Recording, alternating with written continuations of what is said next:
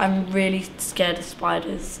I like I know that's really cliche because a lot of people are, but I like freeze up and like sometimes it brings me to tears. I'm just like, oh my god, like someone kill it. Like normally the dog at home just like eats the spider, and I'm just like, yes, you legend. And uh, I'm really scared of like open water, like the sea and all that. Like I won't swim in it. Like I will, Paddle it. I will go in like maybe that much.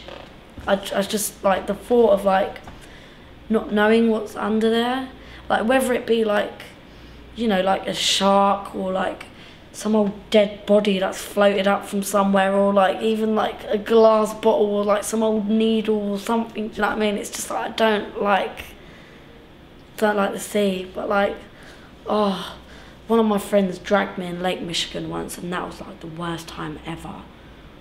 I was like why? It's like come on it'll be fun like you know and I was like in the middle of freaking Lake Michigan. I was like get me out of here. All these dirty crisp like chip packets floating past my face. Like I was up to there. I was like it was horrible